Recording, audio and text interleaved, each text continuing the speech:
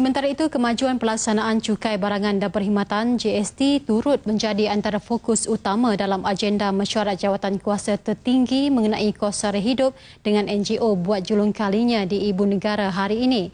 Mesyuarat dipengerusikan sendiri Timbalan Perdana Menteri Datuk Seri Dr. Ahmad Zahid Hamidi yang berusaha mencari langkah proaktif dalam usaha mengurangkan beban kos sara hidup rakyat. Dalam sidang media, Menteri Perdagangan Dalam Negeri, Koperasi dan Kepenggunaan KPDNKK, Datuk Hamzah Zainuddin memberitahu mesyuarat mengambil maklum mengenai isu dan cabaran pelaksanaan GST. Uh, sebelum uh, GST ke uh, RM8 lah kata uh, atau RM5 ke. Uh, apa ni mi goreng. Ada GST tiba-tiba naik jadi uh, uh, RM7-8.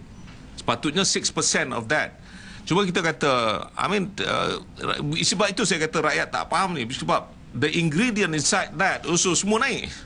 So bila dicampurkan, it is not 6% uh, directly. It is got to be uh, semua tu dicampurkan. So all this actually adalah merupakan satu lagi kaedah uh, pengetahuan consumerism, kepenggunaan yang harus kita uh, uh, beritahu kepada rakyat sebenarnya. Dalam usaha menangani isu harga barangan dan perkhidmatan, KPDNKK akan terus menjalankan penguatkuasaan pencatutan. Ada macam-macam cara boleh kita buat. Because semua tu dah ada. Semua tu dah ada. Tetapi uh, bila kita saya cakap holistic approach, uh, you know, jadi inilah yang kita nak buat. Bukan maknanya uh, kaedah tu saya kena dapatkan 100 200 juta nak buat komunikasi uh, ni. No, I mean uh, I can understand uh, kalau dah kerajaan tak ada bajet, we have to do with whatever that we have. Uh, itu pun uh, merupakan satu juga kaedah. Kalau kita boleh buat, I think uh, dia dapat membantu uh, keseluruhannya.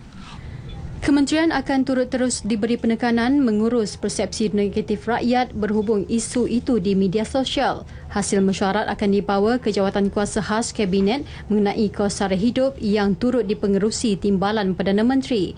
Selain NGO dan Kementerian Perdagangan Dalam Negeri, mesyuarat hampir tiga jam di Jabatan Perdana Menteri Putrajaya itu turut membabitkan beberapa menteri dan pegawai kanan lima kementerian lain termasuk Kementerian Koperasi dan Kepenggunaan, Kementerian Kewangan dan Kementerian Perdagangan Antarabangsa dan Industri.